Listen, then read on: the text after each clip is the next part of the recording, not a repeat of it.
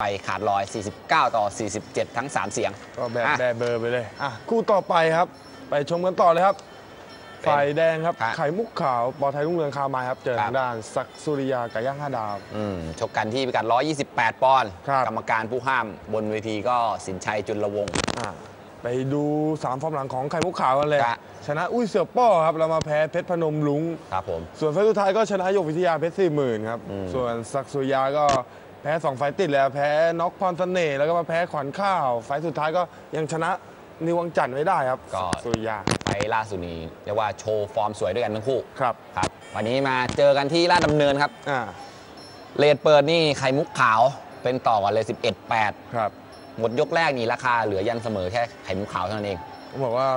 ไข่มุกขาวนี่แต่ก่อนนี่เป็นเจ้าถิ่นนะครับ ชกอยู่ล่ามเนินประจำนะอ่าตอนนี้ข้ามข้ามฝั่งไปต่อยลุมพินีแล้วอ่าก็กลับมาเยือนถิ่นเก่าอีกครั้งหนึ่งอ่าแต่ศักดิ์สุริยานี่จะลูดแล่นส่วนมากอยู่เวทีลุมพินีมากกว่าครับ ก็หมด 2 ยก ราคาก็ยันเสมอแค่ไข่มุกขาวแค่นั้นเองครับอไม่ห่างไม่ห่างคู่นี้เบียดกันตลอดเพราะว่าเป็นคู่นี้ฝ่ายแดงไข่มุกขาวเป็นมวยฝีมือนะอะแต่ฝ่ายน้ำเงินเป็นมวยเข่าครับครับไปปลายๆก็แฟนมวยก็มองอนาคตไปปลายๆแรงดีกว่าแน่นอนครับครับนี่ครับ คือคนหนึงแข้ง แข้งซ้ายนะสำหรับครับศักดิ์สุริยา นี่ครับโอ้โหส่วนแข้งขวานี่จะเป็นของไข่มุกขาววันนี้โอ้โหออกอากาศซ้ายเลย ก็ชิงจังหวะแรกแข้งกันได้สนุกคู่ขี้นะ แต่ว่าโอ้โหเรียกว่าไข่มุกขาว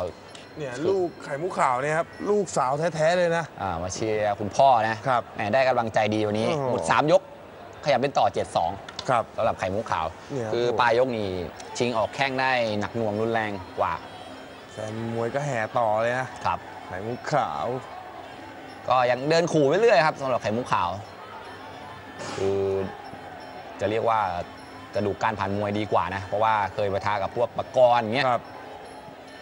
และยิ่งเจอกับมวยเข่านี่ครับสบายๆเลยนะอืมทุกทีครัจะบกลัวหมัดนะครับ วันนี้เจอมวยเข่าศักดิ์สุริยาก็ทนได้ครับ คือเบียดกันไปมากยกนี่เป็นไข่มุกขาวครับที่ทำได้ดีกว่า คือยิ่งต่อยยิ่งเห็นนะว่าเหนือกว่าเห็นชัด เพราะว่าโดยเฉพาะวงนอกนะดัครักบออกแข้งขวาได้เน้นๆเลย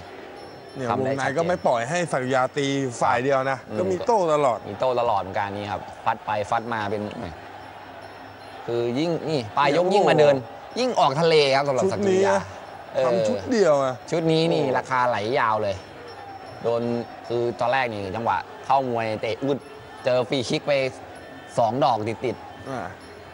ดูวงในครับ โอ้ครับแกข่าวไว้เลยครับศักดิ์สุริยาก็พยายามจะสู้ดีครับ แต่ว่าอ่วงในก็ทำได้ครับ แต่เวลาวงนอก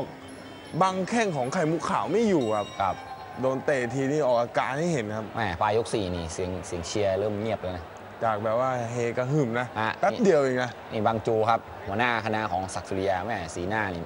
เครียดไม่เครียดสู้แล้วดีเลย เริ่มเครียดแล้วตอนโอ้นี้โห ก็หมดสี่ยกก็โอ้โหไม่ต้องพูดถึงครับราคาครับไกลลิฟต์สำหรับไข่มุกขาวไหลต่อเป็นน้ำนะคครัรับบ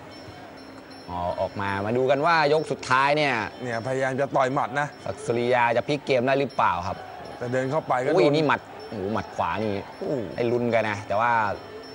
ไข่กุ๊กขางก็เก่าพอตัวนะเอาแข้งตัวรอดขไปวาได้ทำงานตลอดเลยครันะบไข่มุกขาวมีเขี่ยขาหน้ารบกวนอ่าตลอดเวลา ทำให้ศักดิ์สุริยานี่ต่อยไม่ถนัดครับครับพอต่อยได้ทีนึงก็ไข่มุกขาวเนี่ยครับโอ้แกก็เอาตัวรอดได้ครับอะก็คุมเกมไม่ได้หมดแล้วครับ ไข่มุกขาวเนี่ยแหมวเมื่งอวานนอกเป็นของเขาอยู่แล้วเนี่เมื่ยอวานน้องชายเพิ่งคว้าแชมป์มาอ่าตุ๊กตาทองสาวครับจอต้อยแปดริ้ววันนี้ก็มาเชียร์พี่ชายที่มุมด้วยอืมต้องบอกว่าเข้าวิน คู่เลยนะครับก็เรียบร้อยครับพี่น้องไข่มุกไข่มุกขาวก็ชนะคะแนนไปขาดลอยโอ้โหคะแนนนี้50 ต่อ 47 เลย โอ้โหต้องบอกว่าขาดลอยชนะทุกแบบยกเบอร์เลยนะอ่า